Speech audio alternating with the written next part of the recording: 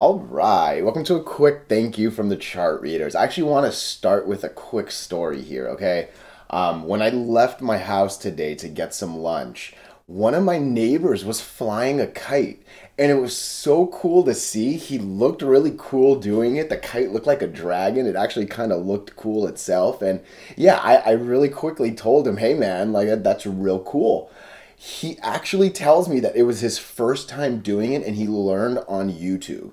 And I swear it just made me think of this channel. Like, I have no look, you know, this is not financial advice. I'm not here to ask you guys how your money is doing. I don't tell you how my money's doing, um, all that sort of stuff, right? But back of my head, I really was like, oh my gosh, I feel like I'm gonna help someone's account one day. And like, that's such a cool feeling, you know? And like, look, I'm at 800 subscribers right here, almost 2,400 hours watched. Like, I for real remember when when like nothing was happening, and I'll, I'll tell you this was a really slow week for me.